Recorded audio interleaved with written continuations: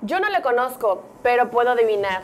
¿Es usted de las personas que se la pasa quéjese y quéjese?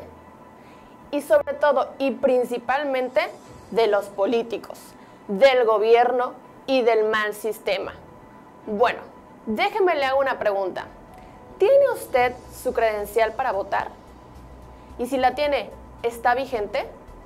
¿Sabe usted que este 10 de febrero fue el último día para tramitarla?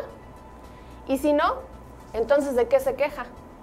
Todos los días que si Aguacán cobra mucho, que si la basura no pasa, que si subieron las tortillas, que para qué votamos, que siempre es lo mismo. ¿Sabe usted tan siquiera cuándo es el próximo proceso electoral y para qué son los puestos que se aspiran?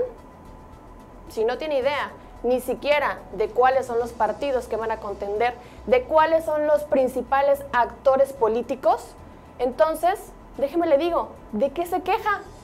Eso es una total y falta de congruencia.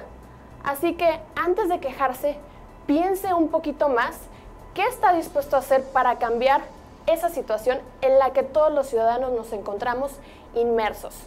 Mi nombre es Sara Morales y esta es la primera llamada, primera videocolumna.